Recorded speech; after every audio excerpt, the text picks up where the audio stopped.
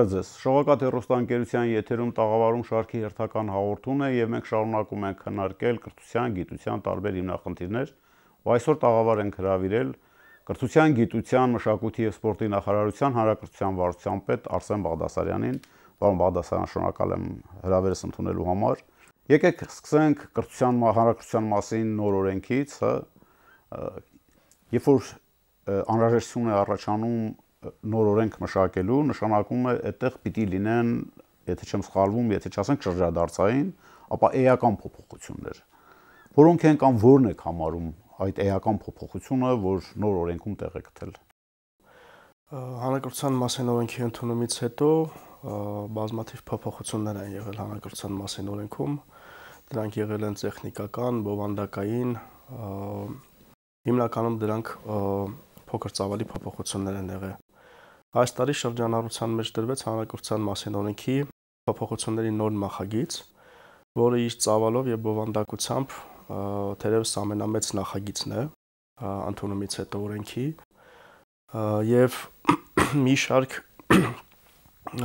մի շարք փոփոխություններ են փոփոխություններ են առաջարկում հանրակրթության մասին օրենքով սկսած օրենքում հիմնականում օգտագործվող հասկացությունների նոր հասկացություններ սահմանելով արկա հասկացությունները նոր խմբակցությամբ շարադրելով ներառական կրթությունից միջև կառավարման համակարգ ուսուցիչների վերապատրաստում, տարակարգերի շնորհման գործընթաց, ինչպես նաև կառավարության եւ կրթության պետական կառավարման լիազորած մարմնի համար լիազորող նորմեր սահմանելու վերաբերյալ այդ փոփոխությունները։ Պարոն Բաղդասարյան, ես ինչքան հասկանում եմ, այդ օրենքում, հա, հանրակրթության օրենքում չափազանց կարևոր տեղ է տրված նոր չափորոշիչներին, երբ որ այդպես տարուկես առաջ դրանք դրվեցին հասարակական քննարկման, այդպես բուրն արձագանքներ եղան եւ տեղին եւ անտեղի շահարկումներ եւ տեղին դիտողություններ կարող եք ասել թե ինչ ծավալի հա փոփոխություններ եղան այդ հասարակական քննարկումների արդյունքում թե մնաց այնպեսին ինչպեսին կար Չափորոշիչները իհարկե առանձին իրավական ակտով ընդունվեցին կառավարության կողմից եւ բնականաբար նախագիծը երբ շրջանառվում էր բազմաթիվ առաջարկություններ, դիտողություններ եւ նախագծի վերաբերյալ եւ դրանք բոլորը, բոլոր այն առաջարկությունները եւ անկախ նրանից ինչ փոփոխություններին է վերաբերում, ինչ իրավական ակտի է վերաբերում, նախարարությունը միշտ բաց է քննարկումների համար եւ բացառություն չէր կազմում նաեւ չափորոշիչների նախագիծը։ Եվ այդ քննարկումների արդյունքում բնականաբար նախագիծը լրամշակվեց եւ ընդունվեց այն տեսքով, որը այժմ կա։ Չափորոշիչները հնարավորություն են տալիս, որպիսի շեշտը դրվի սովորողների կարողունակությունների վրա ինչպես նաև մեծ տեղ է հատկացվում չափորոշիչներով օտար լեզուների ուսուցմանը, տարածաշրջանային լեզուների ուսումնասիրությանը, պարտադիր բաղադրիչ է դառնում առողջ ապրելակերպի մասնագիտական կողմնորոշման ակումբների, ինչպես նաև ռազմամարզական ճամբարի բաղադրիչը, երբ եւ այս տարի առաջին անգամ փորձարկվեց շուրջ 100 երեխաներ մասնակցեցին 12 օր տևող ռազմամարզական ճամբարին եւ բավականին լավ արձագանք մենք ունեցանք։ Եվ աղջիկ եւ տղա, հա։ Այո, եւ աղջիկներ եւ տղաներ եւ չափորոշչով արդեն նախատեսված է որ դրանք պետք է լինեն պարտադիր։ Այստեղ արդեն այլ հարց է, մենք փորձարկումից հետո քննարկել ենք եւ բովանդակության եւ ծավալի առումով նաեւ այդտեղ փոփոխություններ կլինեն, բայց ինքը բավականին մեծ արձագանք ստացավ եւ ինքը մոտեցված է այսպես բանակային ծառայությանը մի բոլոր երեխաները զինվորական հագուստով են, զինվորական ռեժիմով են, վերկաց եւ քուն եւ անցկացնում են ինչպես դաշտային պարապմունքներ, կրակային պարապմունքներ, քարտեզագրություն, տեղորոշում, տարբեր ռազմարվեստի բաղադրիչներ կան, որոնք որ այդ ընթացքում ուսումնասիրվում են։ Բան Բաղդասարյան կներեք դա փոխարինում է ռազմագիտություն առարկային, թե չի փոխարինում։ Չի փոխարինում, ռազմագիտություն առարկան մնում է, ռազմագիտության առարկան դասավանդվում է դպրոցում, ուղղակի սա կարծես թե ամփոփում ենք մենք գործնականում ձեռք բերված գիտելիքները։ Նախատեսված է, հա, ասենք թե թե որքան այդ 12 օրն է լինելու, հա, ամբողջ ուսումնառության ընթացքում, թե թե դա փորձնական էր ուղղակի։ 12 օր, ոչ, ժամկետները քննարկվեն, միգուցե փոխվեն ժամկետները 10 օր դառնա կամ ավելի շատանա, բայց ամեն դեպքում ռազմագիտության առարկայի կրթական ծրագրի ամփոփումն է ինքնին որտեղ գործնականում, այո, գործնականում այդ օրերի ընթացքում երեխաները ցույց են տալիս նախորդ տարիներում իրենց կոտակած գիտելիքները կարթեն գործնականում ինչպես են յուրացել դրանք։ Որոնք են այն գնահատման մեխանիզմները, որոնք թույլ են տալիս հասկանալ փորձարկումը չափորոշիչների աշխատեց արդյունավետ էր թե չէ։ Դրանք մշտական Կզնակը եւ այբը ինչ ինչ չափորոշիչներով են չափորոշիչները ստուգում, այսպես ասեմ։ Քանի որ չափորոշիչները եւ կրթական ծրագրերը մշակվել են մասնագիտական խմբերի կողմից, որոնք արդեն փորձարկվում են մտահուշում, կզնակը եւ այբ հիմնադրամը այդ ծրագրերի եւ չափորոշիչների հիման վրա վերապատրաստումներ են իրականացրել ուսուցիչների Եվ հիմա գործնականում արդեն մշտադիտարկումների մոնիտորինգի արդյունքում մոնիտորինգ անելով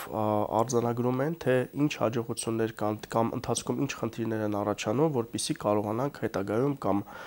հնդածս փոխել դրանք ասեմ, որ արձագանքները բավականին լավն են փորձարկող դասարաններում չափորոշիչների ուսուցիչների կողմից եւ աշակերտների կողմից Իհարկե հիմա դեռ վաղ է վերջնական արդյունք ասել, որովհետև սեպտեմբերից են սկսել չափորոշիչները եւ ճիշտ կլինի տարին ամփոփել, վերլուծել բոլոր արդյունքները եւ նոր արդեն եզրակացություն հանգել թե ստացվեց փորձարկումը թե ոչ բայց ընթացքը ցույց է տալիս, որ դրական։ Այո, դրական հունով է ընթանում եւ կարծում ենք, որ պետք է հաջողության հասնի։ Երեք առաջի օրը այդպես բան հնչեց, որ ուսուցիչների աշխատավարձ կտրուկը բարձրանա, հա փոխնախարար Ժանա Անդրեասյանը նույնպես իր ամփոփիչ ասուլիսում հայտարարեց, որ ատեստավորման կարգը կփոխվի, հա, տարակարգման Բայց մինչ այս պահը պիտի ֆիքսենք, որ շատ քիչ թվով, այսինքն սпасելից ավելի քիչ թվով ուսուցիչներ փորձեցին տարակարգում ստանալ ատեստավոր։ Ինչ է կարծում, ո՞րն է պատճառը։ Պատճառը հիմնականում նա է, որ առաջի անգամ իրականացվեց կամավոր ատեստավորման գործընթացը եւ ուսուցիչների մոտ կար մտավախություն, որ սա կարող է այսպես գործիք հանդիսանալ իրենց աշխատանքից ազատման կամ կրճատման համար։ Իհարկե դրանք իրականության հետ որևէ առնչություն չունեն։ Չեն ուզում աշխատավարձի բարձրացում, եթե կա վտանգ, որ կարող են այլևս ուսուցիչ աշխատել։ Այո, նման մտավախություններ կար, բայց մենք բազմիցս ասում ենք, որ այս գործընթացը փորձնական է եւ այս գործընթացը դուք մեր գործընկերներն եք եւ գալու եք այս փորձարկումն անցնեք, մենք միասին փորձենք հետագայի համար արդեն լավարկել ատեստավորման կարգը մենք կանխատեսել էինք, որ քիչ կլինեն հավակնորդները, հենց հաշվի առնելով այն հանգամանքը, որ փորձնական է դա եւ առաջի անգամ է տեղի ունենում եւ կար նաեւ անորոշության, կար անվստահության խնդիր, բայց այնուամենայնիվ շուրջ 1400 դիմում մենք ստացանք եւ շուրջ որոնցից 1000 ավելի եթե կոնկրետ 996 ուսուցիչ մասնակից կամավոր ատեստավորմանը։ Այո, բայց եկեք խոստովանենք, որ նրանց նրանց ոչ բոլորը մեծ մասը չանցան այդ ատեստավորման, հա, թեստերը, որոնք շուրջ 48%-ը ստացան հավելավ, ես ստանում եմ արդեն հավելավճար, այո։ Տեսեք փորձարկման ընթացքում, այո, մենք ստացանք նաև բողոքարկման գործընթաց եղավ եւ մենք ստացանք բազմաթիվ առաջարկներ եւ բողոքներ Հենց իրենցից ուսուցիչներից հա ատեստավորման գործընթացի վերաբերյալ դրանք բոլորը մանրամասն ուսումնասիրվել են, քննարկվել են մասնագիտական խմբերի հետ, քննարկվել են նաև հենց ուսուցիչների հետ նաև եւ դրանց արդյունքում այո վերանայվելու է ինչպես թեստերի առաջադրանքների քանակը այնպես էլ դրան հատկացվող հա փոխնախարար երբ որ ասում էր պիտի փոխվի ատեստավորման կարգը դա նկատի ունի ոչ միայն ոչ միայն դրա մասին է Տիկին Անդրեսյանն ասել փոխվելու է ինչպես ասեցի հատկացվող ժամանակը համադրվելու է տրվող ժամանակին որպեսզի ավելի օպտիմալ լինի եւ ոսոցիչը ավելի շատ մտածելու ժամանակ ունենա թեստը լրացնելու համար ինչպես նաեւ ատեստավորման կամավոր ատեստավորման գործընթացը կապվելու է դրույքաչափի բարձրացման հետ եւ սա կիրառվելու է 2023 թվականից ըստ նախնական քննարկումների Ինչ է սա իրենից նշանակում։ Սա նշանակում է, որ կամավոր ատեստավորմանը մասնակցած ուսուցիչը ոչ միայն հավելավճար է ստանալու, այլ իր դրույքաչափն է ավելանալու։ Այս բայդրությամբ նվազագույն դրույքաչափը 108800 դրամ է։ Եվ մենք նախատեսում ենք, որ ատեստավորման անցած ուսուցչի դրույքաչափը կդառնա 200.000 դրամ, որին կգումարվի արդեն գրեթե կրկնակի եւ 200 տան գրեթե կրկնակի եւ դրան արդեն նոր այդ 200.000-ի վրա նոր կկիրառվի հավելավճարը եւ եթե ի նկատի ունենանք որ օրինակ եթե ուսուցիչը 50% հավելավճար է ստանում կամավոր ատեստավորում, այսինքն իր դրույքը դարձավ 200.000 դրամ, գումարած 50% հավելավճար 300.000 դրամ եւ եթե հաշվի առնենք, որ նա կարող է մասնակցել նաև տարակարգի շնորհման գործընթացին եւ տարակարգ ստանալ, եւ եթե առավելագույն տարակարգը ունեցավ եւս 50%, հենց այդ 50%-ը չէր որ ասում էի, չէ՞։ Դա տարբեր գործընթացներ են։ Հա, ես ուզում եմ այդ այդ նրբությունը հասկանալ։ Իսկ թվաց թե այդ 50% որ ասում եք, այս տարակարգման արդյունքում։ Ոչ, երկու գործընթաց կա։ Կամավոր ատեստավորումը։ Այո, որը որի շնորհիվ ստանում են տարակարգում։ Այո, կամավոր ատեստավորմանը իրենց ենթադրում է թեստավորման միջոցով մասնագիտական գիտելիքների մակարդակի ճշտում։ Ինչ մակարդակի գիտելիքներ ունի տվյալ ուսուցիչ, դե դրան համապատասխան տրվում է հավելավճար։ Իհարկե դրույքաչափը բարձրացնելուց հետո։ Ըստ հավաքած միավորների, այո։ 30 50 30 40 կամ 50% առավելագույնը։ Իսկ արդեն տարակարգը դա ավելի բովանդակային ինքա գործընթաց է, փաստաթղթային է, եւ կան չափանիշեր, որոնց համաձայն ուսուցիչները ներկայացնելով այդ պահանջներին բավարարելու դեպքում ստանում են առաջին, երկրորդ, երրորդ կամ չորրորդ աստիճանի տարակարգ, չորրորդի դեպքում նույն նույնպես 50% հավելավճար են ստանում։ Եվ եթե այս երկու առավելագույն հնարավորությունները ուսուցիչը ունենա, ուսուցչի աշխատավարձը կդառնա 400.000 դրամ պետք է ասեմ, որ հանրակրթության մասին օրենքում, որը հիմա շրջանառվում նախագծում, մենք առաջարկում ենք նաև տարակարգի ընթացակարգի փոփոխություն։ Գործող օրենքով տարակարգը տրվում է աստիճանականության սկզբունքով եւ որոշակի ժամանակաշրջանում որն է դա առաջին աստիճանի տարակարգ ստացած ուսուցիչը պետք է 2 տարի սպասի, որպեսզի կարողանա դիմել երկրորդ աստիճանի տարակարգի, այնուհետև որոշակի ժամանակ հետո նոր երրորդի, դրանից հետո որոշակի ժամանակ հետո նոր 4 աստիճանի տարակարգի։ Այսինքն ուսուցչից պահանջվելու է 9 տարի, որպեսզի ինքը կարողանա հասնել 4 աստիճանի տարակարգի։ Իսկ արդեն նախագծով մենք այս աստիճանակարգությունը եւ ժամկետների սահմանափակումը հանում ենք Եվ այն ուսուցիչը, ով, ով այս պահի դրությամբ ճանենալով որևէ աստիճանի տարակարգ միանգամից կարող է դիմել եւ ստանալ 4-րդ աստիճանի տարակարգ, եթե հավակնում է։ Եթե համապատասխանում է պահանջներին։ Կարող ենք ասել, որ սա ուսուցչի կարիերա է նշանակում, հա, որովհետեւ երբ որ առաջ ասում էին առաջընթաց ուսուցչի կարիերայում, Ես լավ չէի պատկերացնում ուսուցչի կարիերայում ամենամեծ առաջընթացը կամ միակ առաջընթացը այդպես ուսմասվար կամ տնորեն դառնալն էր, որովհետեւ չկար, ասենք, հա, այդ շահագրգռող բանը, որ դու մոտիվացիան, որ տարակարփում ստանաս, աշխատավարձի ավելում, հա, հավելում ստանաս, ես այս դեպքում չէի հասկանում, թե ինչ է նշանակում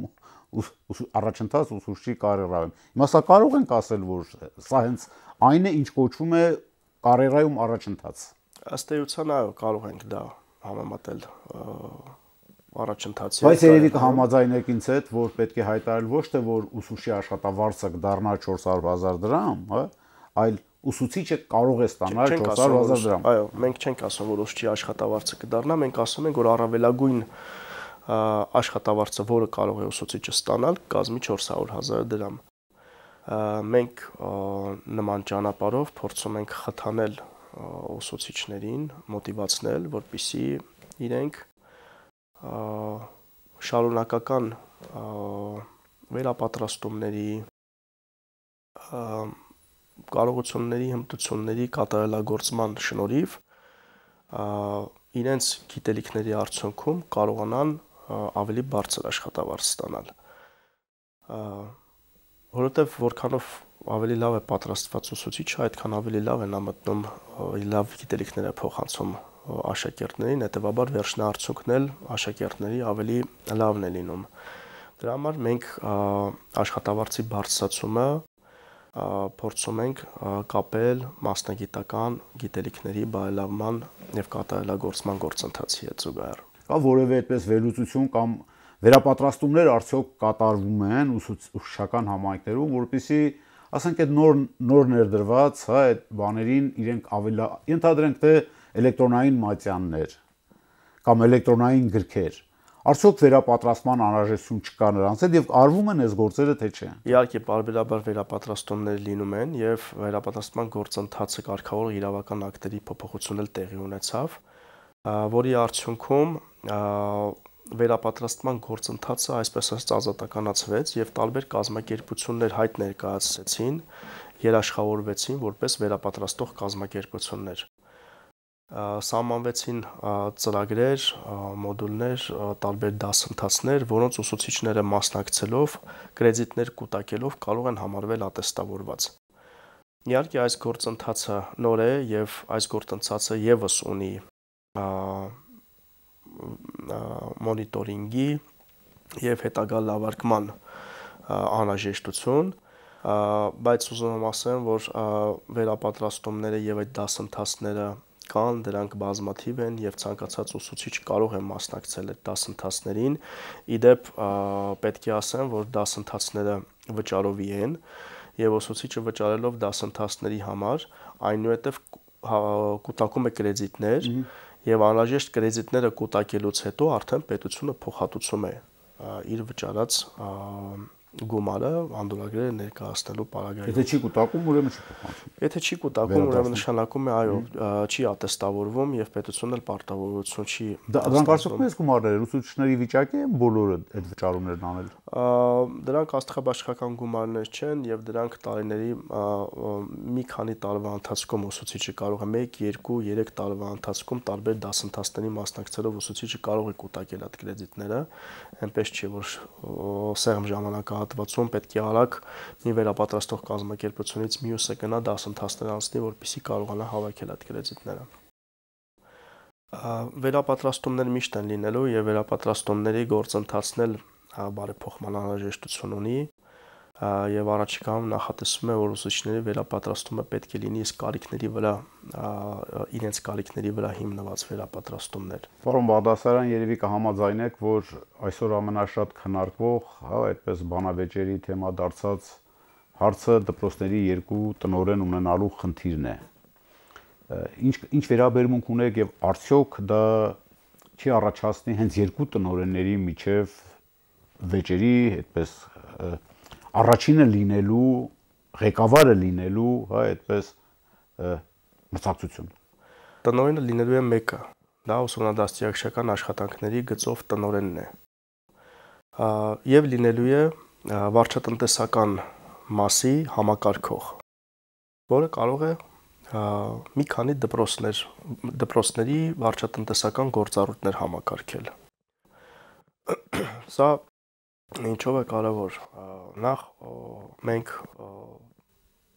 դպրոցը պետք է հասկանանք որպես բովանդակություն։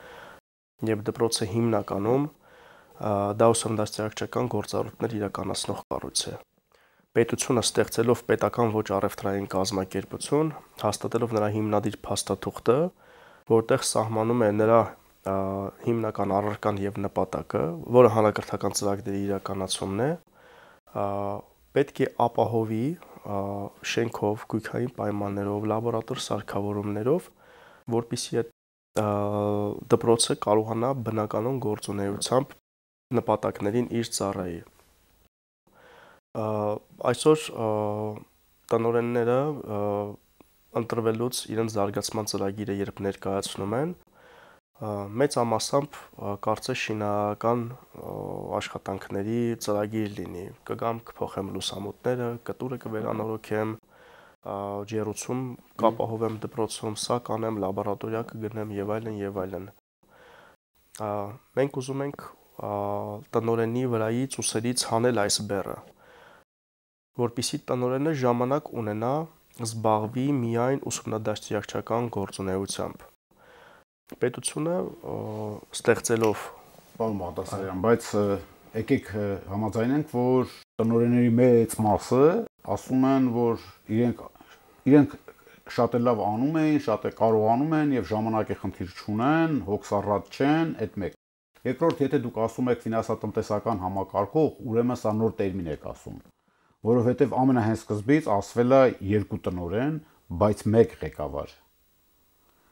Որ ի սկզբանե հենց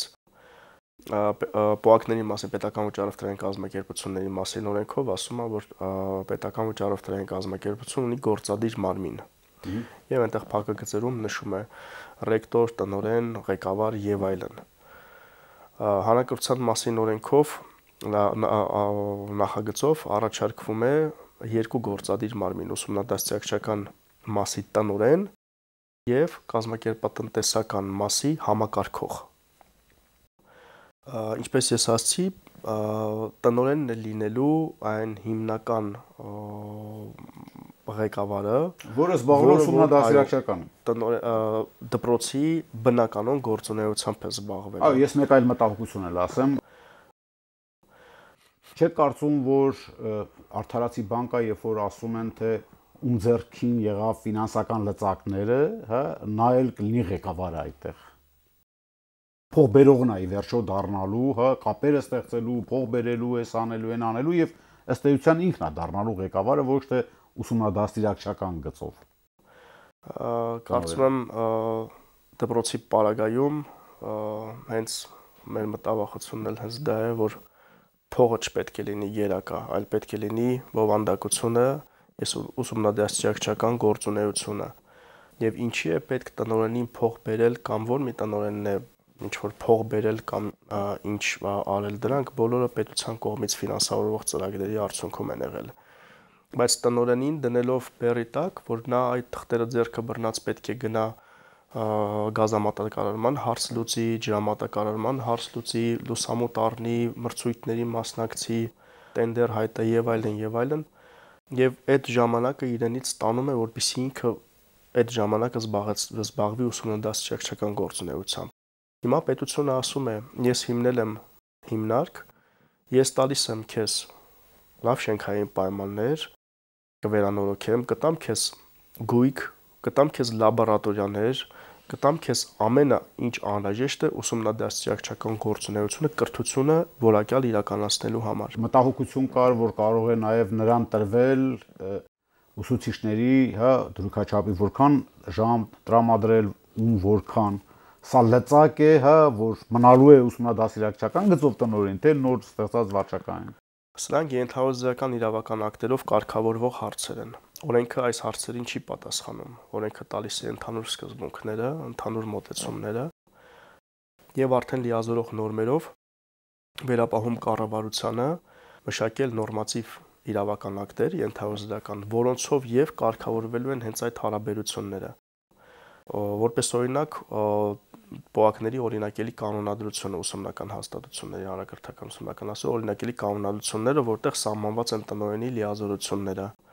կամ 1391 որոշումը կառավարության, որով մանկավարժական աշխատողների անվանացանքն է եւ պաշտոնի նկարագրեգն են որտեղ նշված է թե որ պաշտոնյան ինչ